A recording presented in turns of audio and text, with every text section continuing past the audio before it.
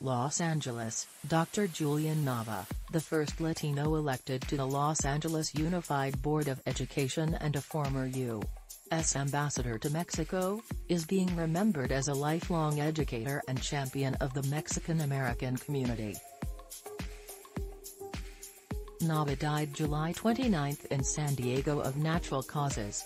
He was 95. The Boyle Heights native, a son of Mexican immigrants, lived a life of accomplishment. He was the first Mexican-American student body president at East Los Angeles College and one of the first Mexican-Americans to earn a doctorate from Harvard, later becoming a history professor at Cal State Northridge when it opened in 1956.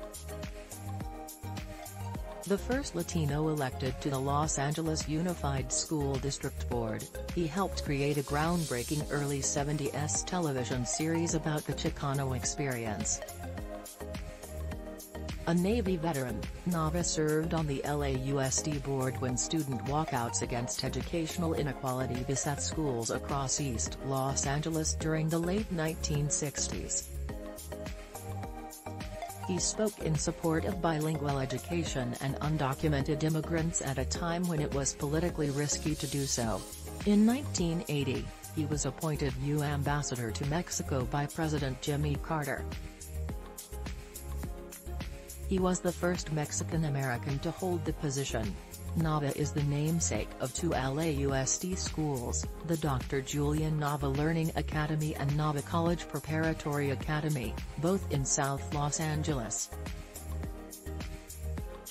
Current Los Angeles Unified leaders and school board members honored Nava as a trailblazer and champion for the Latino community. We celebrate the life of Dr. Julian Nava, whose life blessed us with lessons of love in action, building community, addressing harms of systemic injustices, caring Abu. Unified Board member Monica Garcia said Tuesday in a statement.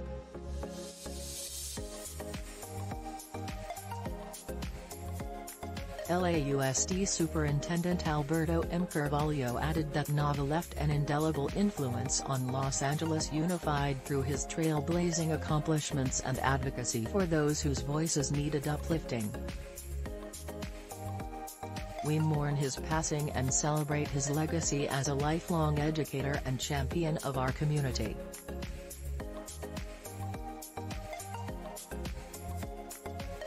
Local District Central Superintendent Frances Baez said that Nava's life and legacy will continue through the lives of students.